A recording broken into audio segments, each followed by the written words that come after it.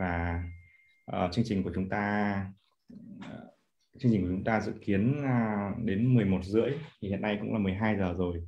Uh, như những buổi trước thì chúng ta sẽ cứ kéo dài cho đến khi không còn khi mà mọi người đều muốn dừng lại. Nhưng buổi hôm nay thì chúng ta sẽ thay đổi một chút chúng ta sẽ uh, dừng lại sau một câu hỏi cuối cùng. Uh, bởi vì uh, anh anh anh Hạnh và anh Johnny thì đều đang là buổi đêm. Và mặc dù năng lượng thì vẫn còn rất rất rất nhiều. Thế nhưng mà chúng ta sẽ sẽ dành phần cho những buổi sau. À, hiện nay thì có um, khá nhiều câu hỏi gửi bằng text gửi gửi gửi tin nhắn đến cho chương trình. Các bạn cũng không muốn phát biểu. Thì tôi xin phép chọn ra một câu hỏi cuối cùng để hỏi cho các các vị uh, các speaker uh, và cùng thảo luận trong chương trình. Uh, câu hỏi đến từ bạn khoa khoa định em muốn hỏi nếu chỉ quan sát cảm xúc và suy nghĩ, đau khổ khởi lên lúc hiện tại thì có chữa dứt được đau khổ hay không? Hay chỉ là tạm thời dừng đau khổ ở thời điểm đó? Do em thấy khổ đau lúc nào? Do em thấy khổ đau lúc, khổ đau, do em thấy khổ đau đó, lúc khác nó lại sống dậy? Nên em nghĩ, nhận biết ở đây nó không chỉ quan sát mà còn thấu hiểu được nguyên nhân phát sinh ra đằng sau nỗi khổ đau đó, phải không ạ? À, vâng, câu hỏi rất là cụ thể. Tức là bạn nói rằng là nếu mình chỉ quan sát cái khổ đau ở cái giây phút giây hiện tại thì các bạn cho rằng là chỉ giải quyết được cái nỗi đau hiện tại, còn cái khổ đau sâu xa thì chưa giải quyết được và liệu rằng là chúng ta có phải tìm quan sát cái nguyên nhân cái nguồn gốc của khổ đau hay không? À, xin mời à, anh à, Chí, anh Chí chia sẻ trước ý này. À, cái này thì Chí xin chia sẻ cái trải nghiệm của chính mình. À, khi mà mình bắt đầu có cái khái niệm là chúng ta phải quan sát cái khổ đau có hình thức là chúng ta là cái chứng nhân quan sát đó, cái hay là cái biết đó, thì cái sự khổ đau đó nó diễn ra một hồi chúng ta mới biết là à không không chúng ta phải quan sát nó. Đúng không? Nó giống như là một cái mới à, một cái hình sự kiện gì diễn ra một cái điều kiện gì diễn ra mà chúng ta có một một cái suy nghĩ về cái điều kiện đó sự kiện đó và cảm xúc nó nó đi theo. Và những cái đó là cái sự phản kháng và những cái khó chịu chúng ta không chuộng à, những cái hình thức mà chúng ta không thích. Nhưng mà nó diễn ra mãi một thời gian rồi chúng ta mới phát hiện là à, mình đang có suy nghĩ vậy. Đúng không? Đó nghĩa là mình đã có một cái sự biết là mình phải nên biết rồi đó.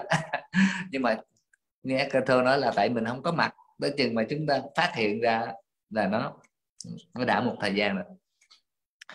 Nhưng mà um, như chỉ, chỉ nói là chỉ thường đặt cho mình muốn là có một cái trải nghiệm thoải mái thích cái sự chuộng cái sự thoải mái thay vì sự trong thoải mái.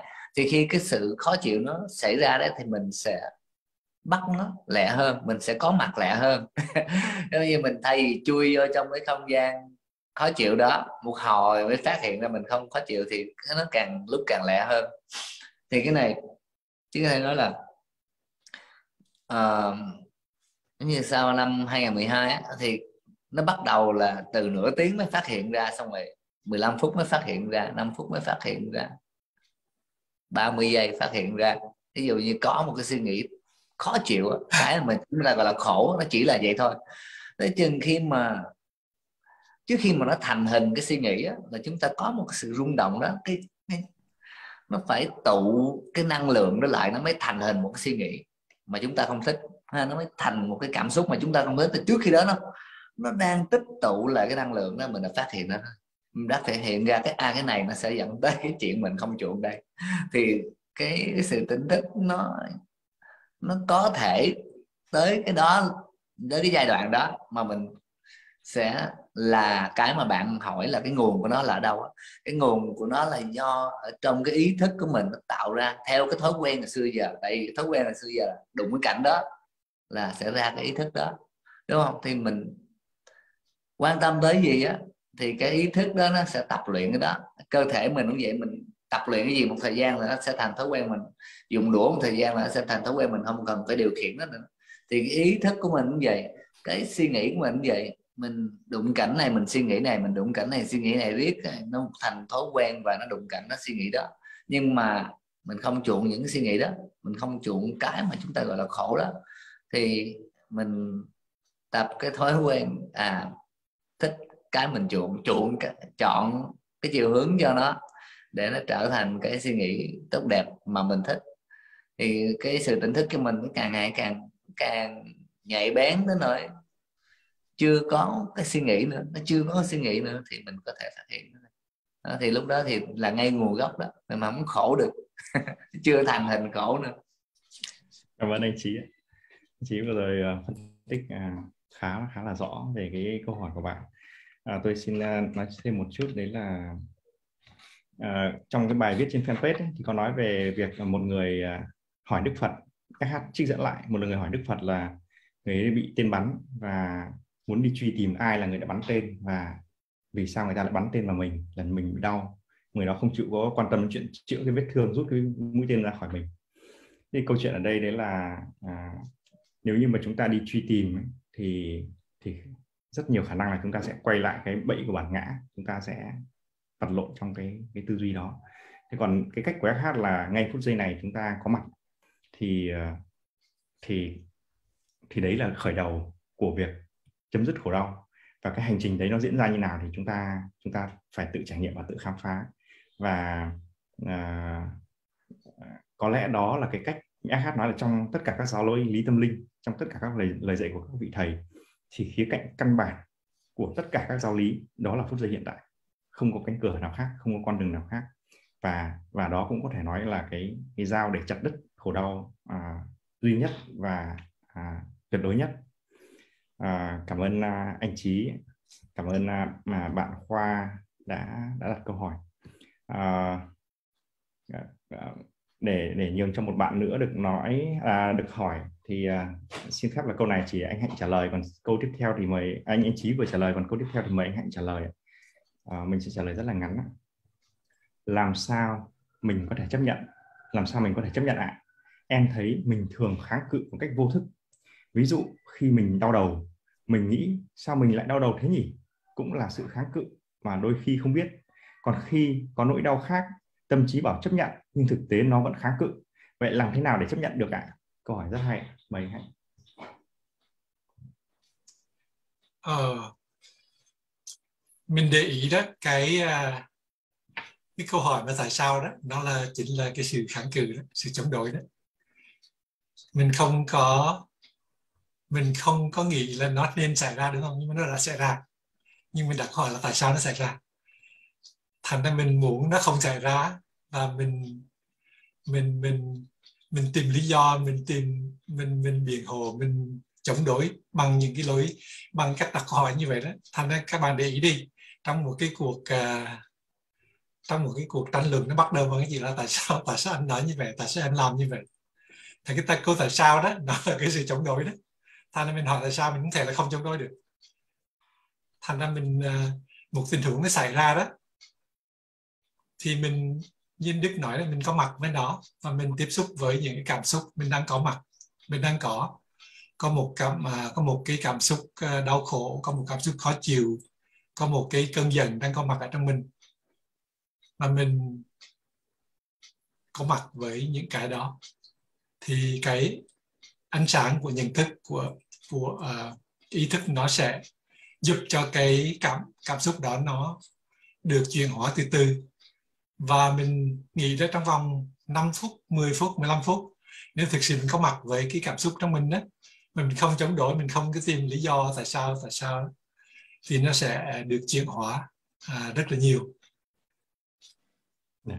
Cảm ơn anh Hạnh. À, câu trả lời của anh Hạnh rất là rõ ràng. À, mình mình đặt câu hỏi, mình mình tìm kiếm chính là sự chống đối và cái cách à, anh Hạnh à, tư vấn đó là mình à, mình dừng lại ở sự có mặt à, có lẽ nói thêm một chút đó là à, khi ta có mặt các câu hỏi vẫn nổi lên các suy nghĩ vẫn nổi lên cái cảm xúc đau khổ vẫn tồn tại thì đó là rất bình thường à, điều quan trọng là mình không cuốn vào nó không không cho nó sử dụng mình. À, đây thực sự là một nội dung rất là sâu sắc và không dễ để nói bằng lời. Cái hành trình thực tập thì luôn luôn sẽ được trải nghiệm nhiều khó khăn. Và cảm ơn bạn đã đã đặt câu hỏi như là một một minh chứng việc bạn thực tập nó và gặp khó khăn trên con đường thực tập. Hy vọng là à, ánh sáng ánh sáng bên trong bạn sẽ chỉ dẫn cho bạn để bước qua cái cái cái nút thắt nút thắt này. À, như vậy là chương trình chúng ta đã đi qua chương 2 à, với 6 trích đoạn và rất nhiều à, à, câu hỏi đến từ các bạn. Còn nhiều câu hỏi nữa đã gửi cho MC nhưng mà à, xin lỗi các bạn là chúng ta không thể đặt ra tất cả các câu hỏi. Và như một cái chuyện quan trọng nhất trong buổi giao lưu hôm nay không phải đến từ từ chương sách không phải đến từ câu hỏi không phải đến từ các speaker mà mà đến từ dòng năng lượng. Chúng ta cùng nhau ở đây để thực tập sự có mặt thực tập sự à, à, nhận biết. À, và chúng ta cũng đã có cái nhân duyên à, rất là vui được gặp à, các bạn lên giao lưu được gặp chị Tú Anh xuất hiện và à, như một món quà cuối cùng của buổi Giáng sinh. À, có lẽ là món quà với nhiều người chúng ta sẽ cùng chào đón sự xuất hiện của một vị khách mời à, phút phút chót. Anh sẽ thay chương trình nói lời chào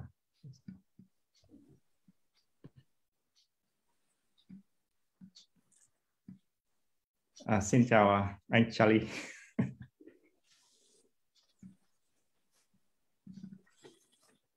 À, xin chào mọi người. chào anh Charlie. Xin chào anh Hạnh, xin chào uh, Đức, chào tất cả mọi người. Xin chào anh Chí à. À, thì mình thấy khuya quá rồi cho nên mình nói một lời chào ngắn gọn thôi là chào tất cả mọi người và chúc mọi người ngủ ngon. ok. Mọi người ở đây là chắc anh Hạnh với lại Trí thôi, còn còn mọi người ở Việt Nam thì chắc là chúc mọi người ăn ngon. Có trang trang cũng ở đức. À, à, trang bên đức nữa. Dạ. Thì người nào ban đêm thì chúc người người đó ngủ ngon còn người nào ở việt thì, thì chúc mọi người ăn ngon miệng. Dạ. cảm ơn anh. Cảm ơn anh cảm ơn anh à, hạnh cảm ơn anh trí. Cảm ơn tất cả mọi người à, xin phép. Cảm ơn mọi người cảm ơn tất cả